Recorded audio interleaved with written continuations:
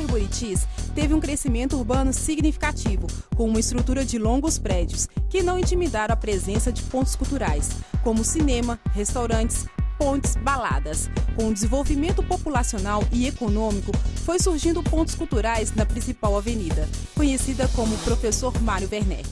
Como o restaurante Rancho Fundo, que cria um ambiente rústico, faz com que o cliente se sinta longe da correria do barulho da cidade grande, criando um estilo mineiro de ser.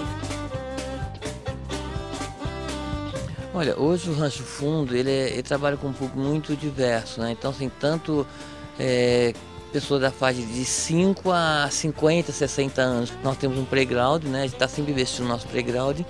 E pizza, um rodízio de pizza que a gente trabalha também. E por outro lado, nós temos a parte da culinária nossa, tradicional, que é, é, é um restaurante de comida típica mineira.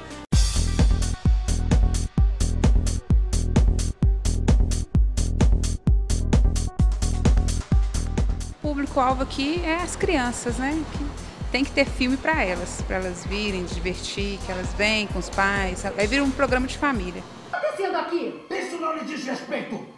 Volte lá para baixo. Durante a semana são, é um público mais seleto, o pessoal vem, sabe que é um cinema tranquilo, então a média, a média é pessoal do bairro.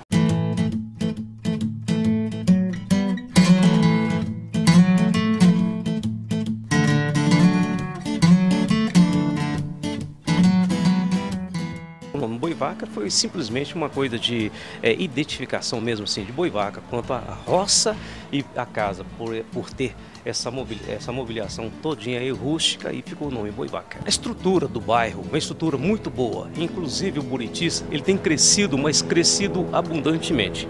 O acesso é muito fácil pelo anel rodoviário, pela Barão, pela Raja Gabarli e pela própria Mário Werneck. A vida noturna, de um modo geral, ela é baseada em, através de barzinhos. É, como referência tem o Boisé, o Rancho Fundo e agora essa cervejaria gigante nossa aqui, que é o Boivaca, ok? Agora, quanto é, é, é, a vida noturna referente a baladas mesmo, ela acontece mais pro lado ali da Rajagabagra para frente até Savassi.